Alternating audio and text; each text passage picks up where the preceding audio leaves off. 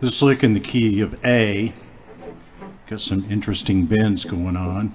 Starts up here at the 12th fret with a full bend on the B string. And then over on the E string, 12 and 10. And you keep that note bent up when you hit the E string 12th fret. And when you hit the 10th fret on the E string, you drop that bend on the second string, the 12th fret. Over to the third string there. The 11th fret. I'm going to slide down to the uh, 8th fret.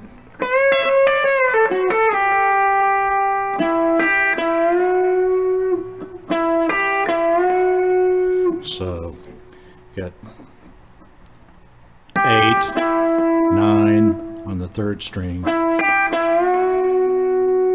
and then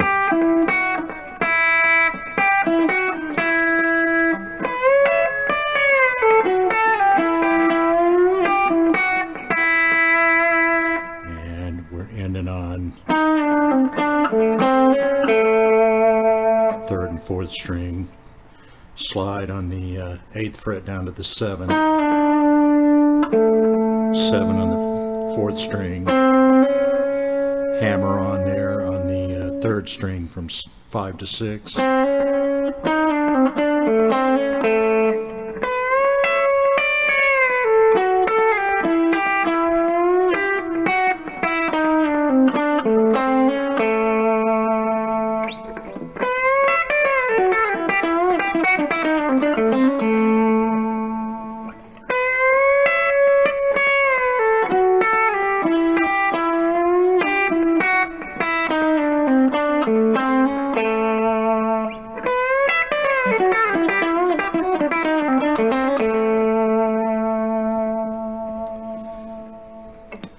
Say a little harder lick than usual, but uh, once you get it up to speed, really sounds great on a country blues, working man blues type thing. Anyway, that's the lick for today. Thanks for watching, and we'll see you next time.